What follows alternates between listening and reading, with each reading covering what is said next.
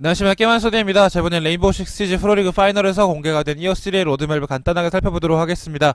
이번 로드맵뿐만 아니라 내년 2018년도에 invitational 대회까지 소개가 되었기 때문에 좀 더 알찬 소식을 전달해 드릴 수 있을 것 같습니다. 먼저 roadmap 보도록 하겠습니다. 이어3의 첫 번째 시즌인 오퍼레이션 키메라입니다. 오퍼레이션 키메라는 기존 일반 오퍼의 국가였던 프랑스와 러시아에서 각각 새로운 오퍼 한 명씩 등장을 하며 새로운 맵 대신 아웃브레이크라는 새로운 이벤트가 열린다고 합니다. 이전 레딧발 유출에 의하면 좀비 모드이지만 PVP가 아닌 PVE 관련으로 나온다는 루머였는데 맞을 수도 있을 것 같습니다. 다음 두 번째 시즌입니다. 아직 두 번째 시즌에 대한 명칭은 붙어있지 않은 상황이며 이탈리아에서 새로운 오퍼 각각 한 명씩 이탈리아에 관련한 어, 새로운 맵까지 등장할 예정이라고 합니다. 다음 세 번째 시즌입니다. 마찬가지로 명칭은 붙어있지 않으며 첫 번째 시즌과 마찬가지로 일반 오퍼의 국가가 다시 등장을 합니다. 영국과 미국에서 각각 한 명씩 새로운 오퍼가 등장을 하며 현재 시즌인 Blood Orchid에서 사라진 요트와 빈민가 맵의 바뀌어진 모습, 맵이 rework가 되어질 예정이라고 합니다. 제 추측이긴 하지만 이전 Health에서 패치되었던 부분 중 하나인 spawn kill 방지를 위한 맵 구조 변경 또한 볼 수 있을 것 같습니다.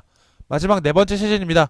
마찬가지로 명칭은 붙어있지 않으며 모로코에서 새로운 오퍼들이 각각 한 명씩 등장을 하며 모로코에 관련한 새로운 맵까지 등장할 예정이라고 합니다. 이번 Year3의 경우에는 새로운 국가에서 새로운 대원이 등장하는 것이 아닌 기존 초창기 국가에서 새로운 오퍼들이 등장하는 모습 첫 시즌부터 새로운 모드와 새로운 이벤트들이 등장하는 만큼 변화를 주어서 이어3 시즌 패스를 사게끔 하는 모습 보기에는 좋습니다만 이번에는 Health하는 일이 없었으면 좋겠습니다. 다음 내년 2018년도 Invitational 대회 관련해서 보도록 하겠습니다. 캐나다 몬트리올에서 2018년 2월 13일에서 18일까지 6일 동안 열린다고 합니다. 물론 한국 시간이랑은 차이가 좀 나겠죠. PC로 진행을 하며 총 16개의 팀이 나와서 대결을 한다고 합니다. 해당 이미지의 경기장으로 하는 것으로 보여주고요.